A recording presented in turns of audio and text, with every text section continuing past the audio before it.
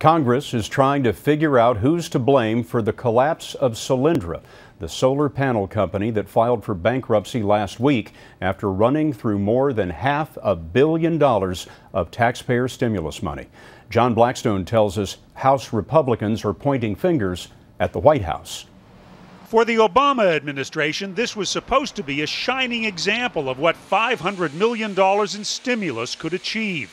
Instead, Solyndra's solar panel factory operated for less than a year before the company declared bankruptcy two weeks ago. At a congressional hearing today, House Republicans presented excerpts from emails suggesting the Obama administration rushed the Solyndra loan. Representative Steve Scalise read from an Office of Management and Budget message urging caution. Quote, this deal is not ready for prime time.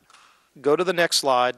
Eight, given the time pressure we are under to sign off on Solyndra, we don't have time to change the model. Jeffrey Zients of the OMB said the administration was simply asking about the timing for a groundbreaking ceremony.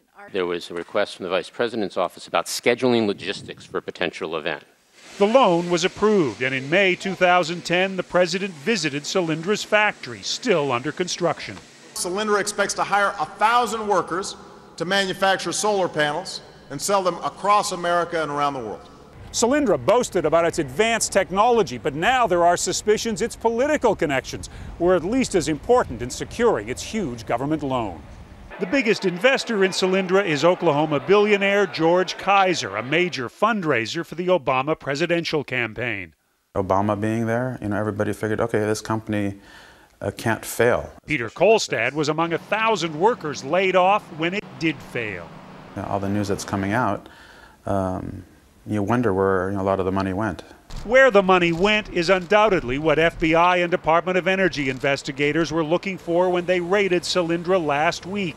And it is what Solyndra executives are certain to be asked when they're called before the same congressional committee next week. John Blackstone, CBS News, Fremont, California.